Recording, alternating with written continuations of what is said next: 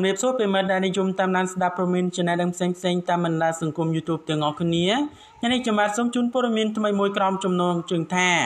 អោកសុគន្ធកញ្ញាបំភ្លឺរឿងឪចោតកូនបើមិនស្គាល់ឪបងប្អូនជាទីគោរពរាប់អាន បាទតារាចម្រៀងដ៏ល្បីនៅក្នុងប្រទេសកម្ពុជារបស់យើង បាទអ្នកនាងអោកសុគន្ធកញ្ញាបានបំភ្លឺហើយដោយនាងអះអាង បាទមួយចំនួននឹងបញ្ហាដែលកើតឡើងនាពេលកន្លងទៅ ថាមូលហេតុអ្វីទៅបានជាកូនមិនស្គាល់ឪបាទដូច្នេះកុំឲ្យប្រិយមិត្តរបស់យើងរងចាំយូរសូមមេត្តាជួយ Subscribe និង Like តារាចម្រៀងអ្នកនាងអុកសុគន្ធកញ្ញាដែលរងចាត់ការចោទប្រកាន់ពីឪពុកបង្កើតថា កូនមិនស្គាល់ឪនោះបានបំភ្លឺថា នាងបែកបាក់គ្រួសារតាំងពីនៅក្មេងហើយនាងត្រូវតស៊ូរៀនផង បាទច្រៀងផង មើលថែប្អូនផង ពុះពៀរស់នៅដោយបាននៅជាមួយនឹងអាណាព្យាបាលនៅឆ្ងាយ នៅពេលដែលឪពុកចាក់ចេញទៅ នាងមានតែម្ដាយដែលត្រូវចិញ្ចឹមគ្រួសារទាំងមូល ដែលនៅពេលនោះនាងតែងតែនិយាយប្រាប់ម្ដាយថា នាងនឹងរឹងប៉ឹងរឹងមាំជាចំហជួយគ្រួសារមួយនេះបាទដោយមិនពឹងពាក់លើកម្លាំងមនុស្សប្រុសជាពិសេសឪពុកទេ រហូតនាងមានកេរ្តិ៍ឈ្មោះល្បី មានកិត្តិយសដោយសពថ្ងៃនេះ អោកសុគន្ធកញ្ញាបានបង្ហោះបើវីដេអូនាងបកស្រាយទាំងទឹកភ្នែកពីការតស៊ូរឿងអតីតកាលរបស់នាង ដែលជាកូនកំព្រាឪពុកបាទដូចជាទឹកនៅលើស្លឹកឈូកនៅក្នុងគេហទំព័រលើបណ្ដាញទំនាក់ទំនងសង្គម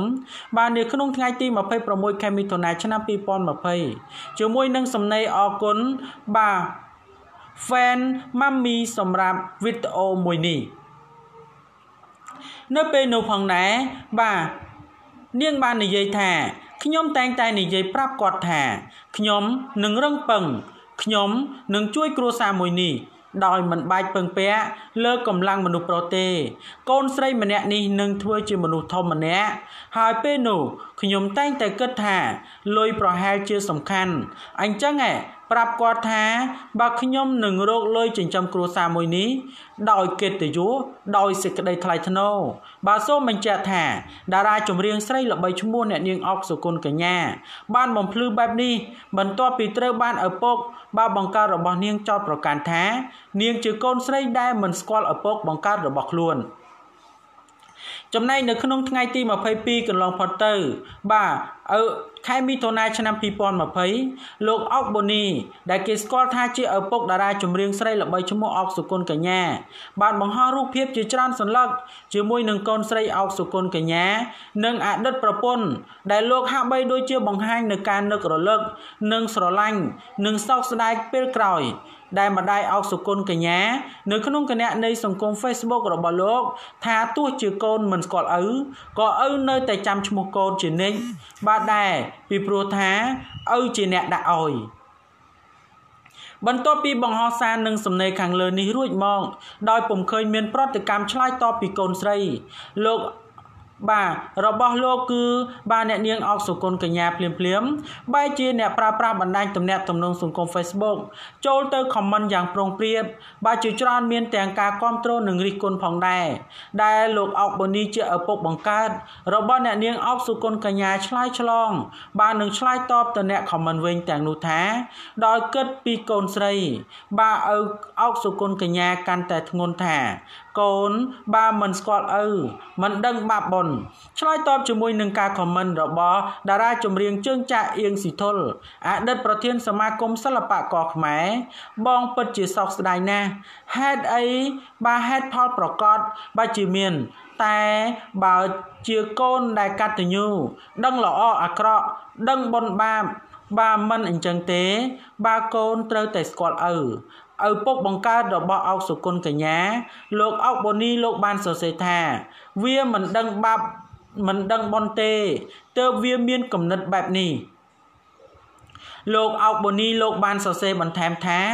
ទឹកចិត្តឪពុកណាកូន មិនចង់បង្ខូចកិត្តិយសកូនទេនិងបើមិនចង់ធ្វើបាបកូនទេ